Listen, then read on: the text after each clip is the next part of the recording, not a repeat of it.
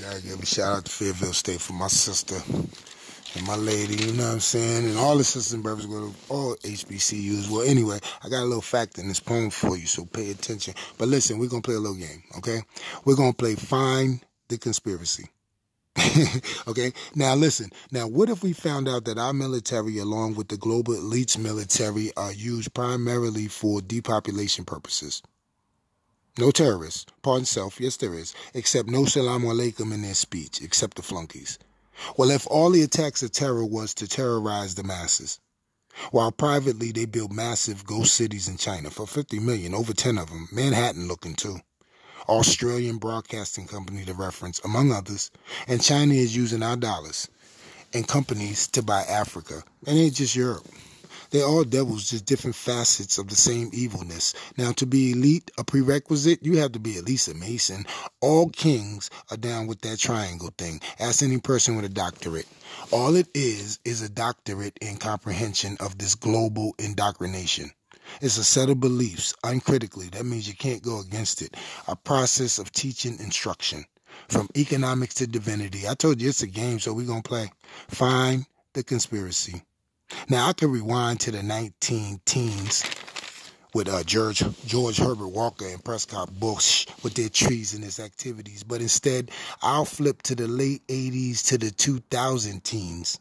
Okay, Bush, Clinton, Bush, Obama, same team, believe me.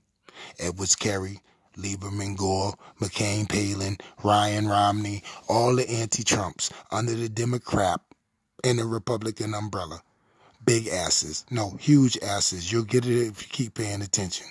And that uh, project for New American Century, funded or founded by the great big Dick Cheney, neoconservative global domination, and they hide it under education.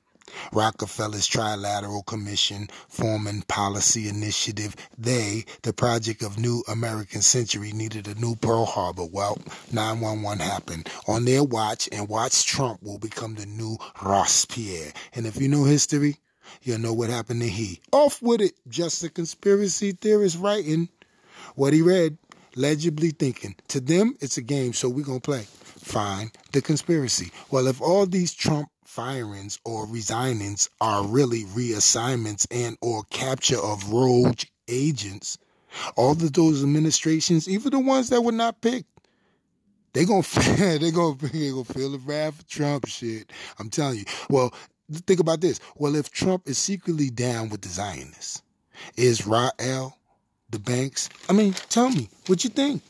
I think they're all hostile incursions. I N C U R S I O N. And that has a dark definition. It just depends what team he's on. 45 is Gematria is 9, encompassing all. Jordan, y'all got to pay attention. The number 9 is the infinite of infinite. Math has different dimensions. Every time 45 speaks, check his hands. They stay forming a diamond math signs and symbols. He's just a different evil. But he's touching a very, very sensitive issue the Federal Reserve System. Good for us, but politically very bad for him. Last time a president did so, JFK, and you know how that went. To them, it's a game, so we're going to play. Find the conspiracy. Okay? Executive orders. Now, on record, first one was Lincoln, 1862, in Louisiana for a provisional court okay, arranged or existent to the present, only to be changed later. Executive orders from the presidents are pursuant to a grant of discretion, acting on one's own authority. And grant means to award power. Layman terms, we're like Russia, China, North Korea. We're communists, Marxists, socialists, Same stuff, all of it. From Executive Order 13765 to 13855. There's 91 of them. From his inauguration to the present. Donald Trump signing them up first on the agenda, and he meant it. Executive Order 13765, repeal Obamacare. 66 was that infrastructure because he wanted to do the roads and the bridges.